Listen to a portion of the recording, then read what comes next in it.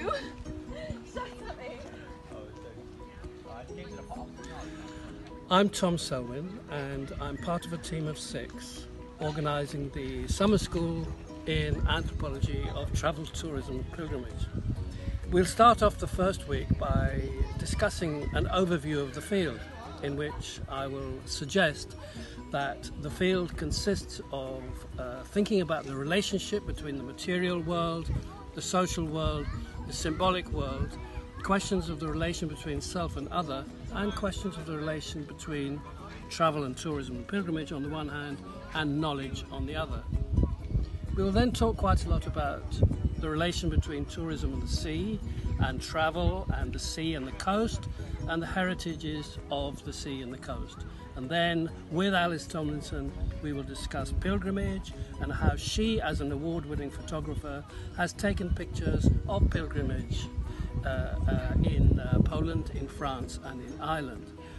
And we will try and then explore the whole kind of relation between travel and tourism and uh, ritual and ritualistic activities. I'm Safet. I'm one of the co-conveners of the Summer School in Anthropology of Travel, Tourism and Pilgrimage. And the second week of the school really builds on the activities, some fun activities like exercises in autoethnography. Um, and in the second week, we consider cultural heritage in a variety of forms. We consider the theoretical notions and development of cultural heritage, but we also consider various geographies from Croatia through Patagonia, Chile, and Argentina, through Bosnia, Palestine, and so on and so on.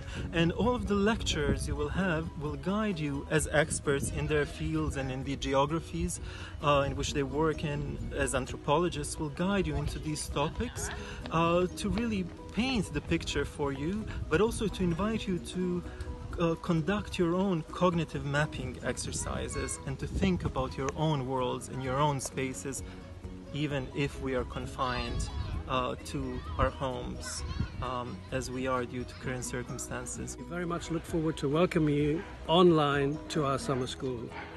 Summer 2020.